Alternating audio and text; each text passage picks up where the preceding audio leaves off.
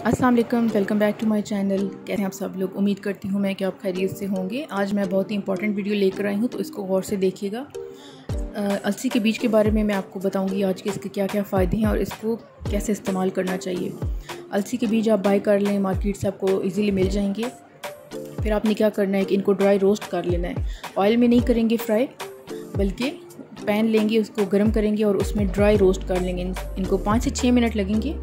जब ये अपना कलर चेंज करने लगे और ये क्रिस्पी हो जाएँगे थोड़े से तो आपको पता चल जाएगा कि ये रोस्ट हो चुके हैं। उसके बाद आपने इनको ठंडा करना है और आप इनको स्टोर कर लें किसी भी जार के अंदर। एक महीने के लिए ये रह सकते हैं इस तरह।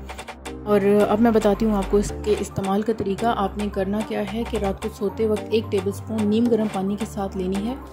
और जब आप अलसी के दाने लेंगे तो इनको अच्छी तरह पहले चबाएँगे मुँह में और उसके बाद आप पानी पी लेंगे।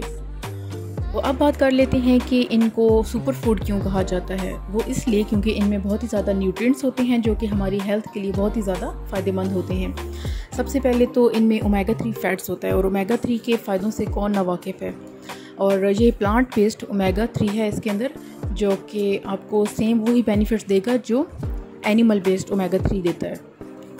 और फिर इसमें है कि ये आपका कोलेस्ट्रॉल लेवल इम्प्रूव करता है, आपका ब्लड प्रेशर मेंटेन रखता है और कैंसर के रिस्क को बहुत ही ज़्यादा कम कर देता है। साथ ही साथ हाई क्वालिटी प्रोटीन है जो कि आपकी स्किन आपके हेयर आपके नेल्स के लिए और ओवरऑल हेल्थ के लिए बहुत ही ज़्यादा बेहतरीन है और उसके बाद वेट लॉस में ये बहुत ज़्यादा मदद करता है।